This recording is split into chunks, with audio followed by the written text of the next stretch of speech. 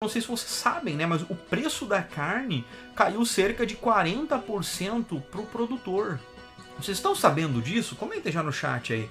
Se vocês estão sabendo que o preço da carne, produtor, os produtores estão vendendo carne cerca de 40% mais barato. Vocês sabiam disso? Mas André, por que, que o preço da carne, por que, que os produtores estão vendendo carne 40% mais barato e eles não estão. E, esse 40% não está mais barato na carne no mercado. Porque estimativas mostram que tem, tem alguns tipos de carne que estão de 3 a 7% mais barato, né? Dentro dos mercados, né? E ok, até aí estamos de acordo, estamos super bem, todo mundo sabe disso, né? Só que olha o que está acontecendo agora, e eu comentei a, a, história de um parente meu, né? Eu tenho um parente que começou a investir em gado nesses últimos anos, né? E começou lá, cara, com 10, 15 cabecinhas de gado, 20, 30 cabecinhas de gado, 50 cabecinhas de gado. E no ano passado, né, no ano retrasado, ele já estava com uh, cerca de 200 cabeças de gado, tá? E estava super feliz, estava super feliz com as 200 cabeças de gado, né? Pô, olha só, vou conseguir fazer este investimento. Fez vários investimentos na fazenda lá, construiu celeiro, construiu isso, construiu aquilo, e papapá, então tava lá com 200 cabecinhas de gado, com planos já de comprar um terreno, comprar uma área de terra maior, fazer expansões, já tava com vários terrenos, né? E aí começou, e aí aconteceu o que aconteceu que o Lula ganhou, né? O Lula ganhou e tudo mais, e aí o que aconteceu? Eu falei, eu tava, eu tava comentando como que funciona uma fazenda de, de bois, né? Chegou, bateu o fiscal lá, só pra você ter uma ideia como é que funciona, né? Bate o fiscal na tua fazenda, ele pega lá e olha assim, ah, eu preciso ter a, o, o comprovante de nascimento de cada uma das cabeças de gado. Tu precisa ter nota fiscal de onde tu comprou o gado, uh, onde tu comprou, quando tu comprou, o valor que tu pagou, se nasceu algum, algum boi, se nasceu algum boizinho, precisa ter um comprovante de, de um veterinário que vai dar lá o, a certidão de nascimento do boi e aí tu tem que botar aquela certidão de nascimento ali para dizer que aumentou, né, os bois que tu tem, e aí tem que ter o fiscal. Nossa, cara, é assim, é um controle absurdo, né? É um controle completamente absurdo. E aí de você se faltar um boi, se faltar dois bois, se faltar três boi na tua fazenda. Ah, não, caiu num buraco, quebrou a pata, a gente teve que matar e carnear. Não, cara, tem que ter CPF, tem que ter RG, tem que ter seguro de vida. E acontece isso nas fazendas, né? Volta e meia, isso é uma coisa extremamente comum nas fazendas, né? Eu aprendi com um amigo meu que tem fazenda lá no, no Acre. E ele falou que Volta e meia o boi, né, pisa num buraco, quebra a pata. Quando o boi quebra a pata, irmão, é só sacrificando, né? E ele explicou que acontecia tudo isso aí. Mas olha o que aconteceu, né? Como ah, o governo hoje tem o controle de todas as cabeças de gado, o, o, o, o, governo hoje sabe quantas cabeças de gado tem em cada fazenda, né? E é o que que acontece? Você não pode pegar o seu boi hoje e sair vendendo, ó, oh, sai na rua e fala, oi, e aí vizinho, quer comprar? 4 mil reais? Não, não é assim que funciona. Você só pode vender a sua cabeça de gado para empresas que estão cadastradas juntas ao governo, né? Frigoríficos que estão cadastrados juntos ao governo para poder comprar aquele teu boi.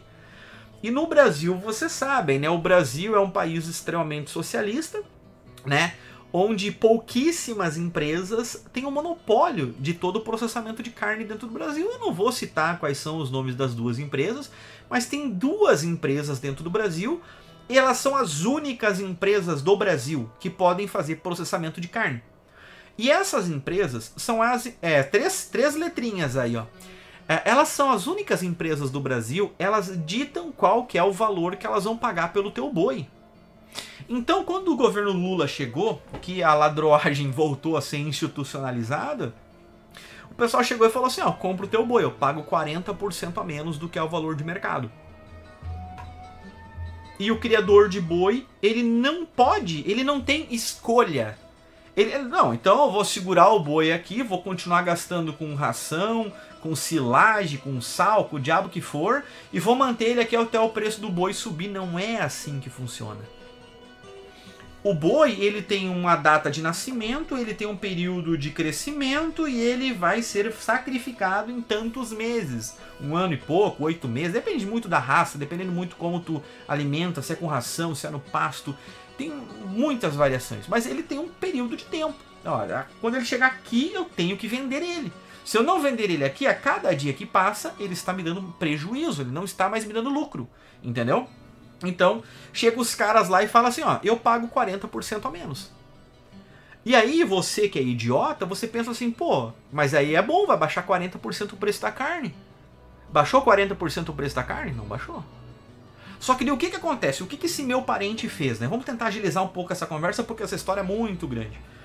Esse meu parente chegou e falou assim, cara, o cara investiu mais de um milhão de reais para ter lá as 200 cabeças de gado dele, entendeu? E ele falou, cara, eu tô perdendo agora cerca de 300 a 400 mil reais. Então eu tratei o boi, eu cuidei do boi, o boi cresceu, o boi vacinou, o boi tem sal, o boi tem CPF, o boi tem RG, o boi tem a vacina, o boi tá tudo bonitinho. E chega a empresa lá e fala, eu pago 40, eu pago 40% a menos. Pô, como é que eu vou vender, cara? Eu gastei 3 mil nesse boi, você vai me. Eu tenho que vender ele por 4, eu tenho que vender ele por 5, eu tenho que vender ele por mais dinheiro do que eu gastei. Não, eu vou pagar 2 mil, né? 2,200. E aí o que aconteceu? Esse meu parente chegou e falou assim: nós estava numa festa, nós estava numa festa da família, e chegou esse meu parente e contou essa história. Né? Ele falou, pô, investi tudo, investi muito dinheiro nisso, né? Minha aposentadoria, nessa brincadeira toda. E, e eu perdi 400 mil reais agora. Eu vou, ter, eu vou ter que continuar trabalhando, porque tem não é todo boi que é morto na mesma hora, sempre os, os bois vai saindo um pouquinho e vai entrando novos, e vai saindo um pouquinho, vai entrando novos, né? Vai, vai girando, né? Porque os bois, depois, quando eles vão pro, pro cercado, quando eles vão pro pasto e coisa arada, vai os bois mais velhos na frente, os bois que já estão mais tempo na fazenda na frente, os outros vão seguindo. Então não dá pra te eliminar todos, depois você tem que treinar os bois de novo, né? É, bom, é, não vou entrar nessas tecnicalidades, né? Mas ele falou, cara, eu vou pegar essas 200 cabeças de gado e eu vou ter que, eu vou perder, cara, meio milhão de reais nessa porra toda aqui. Eu perdi dinheiro, todo o dinheiro que eu investi, eu tô fudido, tô quebrado, entendeu? E aí eu comentei uma parada bem interessante que eu comentei assim. Essa pessoa fez campanha pro Lula. Eu falei, faz o L. Cara, eu não preciso falar mais nada, tá? Mas esse foi um dos últimos dias que eu fui nas festas da família. Tanto que ano passado não participei de nenhuma festa da família, não, não fui no Natal, comentei para vocês, porque deu, deu pau? Deu briga, deu, deu quase deu tiro, quase deu morte nessa, nessa minha fala de faz o L, entendeu? Porque essa pessoa fez campanha pro PT. E eu falei, faz o L, tem que se fuder mesmo. Tem que se fuder. Mas vamos lá. Agora esquecendo essa brincadeira toda, né? Agora esquecendo essa brincadeira toda. Esse produtor, esse meu parente, ele comentou: eu vou vender essas 200 cabeças de gado e eu não invisto mais em gado. Eu vou fazer alguma outra coisa. Eu vou plantar soja, eu vou plantar arroz, eu vou plantar não sei o que, eu vou fazer outra coisa. Só que agora estamos falando aqui de uma fazenda de 200 cabeças de gado. Agora eu vou comentar para vocês de uma outra fazenda de gado de um membro aqui do canal. Não vou comentar quem é, mas é um membro aqui do canal. Muitos de vocês sabem e muitos de vocês escutaram essa história lá no próprio Discord. O cara ele administra uma das maiores fazendas aí do Brasil de criação de gado, tem mais de 100 mil cabeças de gado, tá? Ano passado, ano retrasado, ano retrasado, esse cara foi lá e comprou 100 Hilux para algumas das fazendas lá que ele administra. 100, 100 caminhonetes Hilux. E aí tem que equipar com rádio, tem que equipar com mata cachorro, tem que equipar com negócio de reboque, tem que equipar com um monte de coisa, né? Então comprou 100 Hilux. Sabe qual foi a forma de pagamento? À vista. E eu comentei para ele, irmão, eu sei que tu trabalha com gado, como é que tá aí? Ele falou, André, parou tudo. O dono da fazenda falou assim, ó, investimentos, investimentos, para tudo, segura tudo, parou, acabou. E nós estamos falando aqui de investimentos, galera, de, de fazendas que tem uma cidade praticamente dentro. Que tem escola para os filhos das pessoas que trabalham na fazenda. Só para você ter uma noção não é fazendinha. Não é mais a fazendinha do meu parente que tem 200 cabeças de gado que cria em 10 hectares de terra. Tô falando de fazendas de dezenas de quilômetros quadrados. Para não dizer centenas de quilômetros quadrados. Fazendas gigantescas. Falou, ó, segura tudo. Segura tudo. Segura todos os investimentos. O que, que vai acontecer? Anota aí o que, que vai acontecer, porque isso aí é uma coisa. É, é factual essa porra. Meu parente cortou a produção. produtores grandes estão segurando tudo que dá para segurar. Porque as empresas que têm o monopólio da exportação e do processamento de carnes dentro do Brasil estão pagando menos na carne. Não está valendo a pena vender. Se não está valendo a pena vender boi, está valendo criar boi? Não está. Então eu sei que. Ah, vou dar uma de Olavo de Carvalho agora. Vai chegar muito próximo ao final deste ano. Anota aí, filho da puta. Anota aí que um ex-favelado com supletivo de segundo grau vai falar para ti. Até o final deste ano, até o final deste ano, nós vamos começar a ver um aumento no preço da carne. Um aumento muito grande no preço da carne. Por quê? Porque vai ter muito menos pessoas produzindo carne.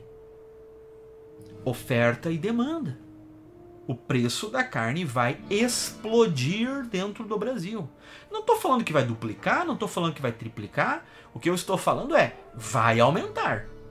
Só que daí o grande problema é que o preço da carne hoje caiu por causa do Lula. E quando o preço da carne começar a subir até o final deste ano, no mais tardar comecinho do ano que vem, quando aqueles bois estiver, estarem ali dando prejuízo para o criador.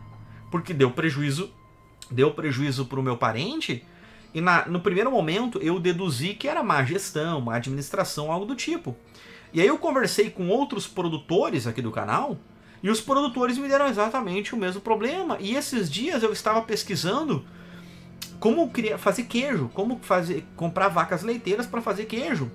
E eu vi um canalzinho, canalzinho não, mas é um produtor pequeno, que tem um canal grande aqui no YouTube, mas é um, é um produtor pequeno, onde eles pararam de produzir queijo, porque não estava mais valendo a pena.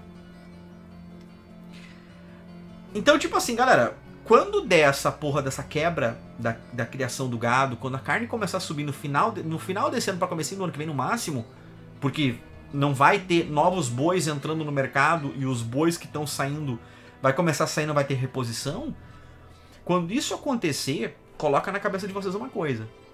A queda de 3 a 7% no valor da carne foi por culpa do Lula. O aumento vai ser por culpa do Lula ou não?